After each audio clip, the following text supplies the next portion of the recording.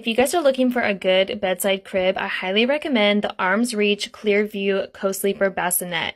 It easily adjusts to the height of your bed, and the wheels make it easy to move from room to room.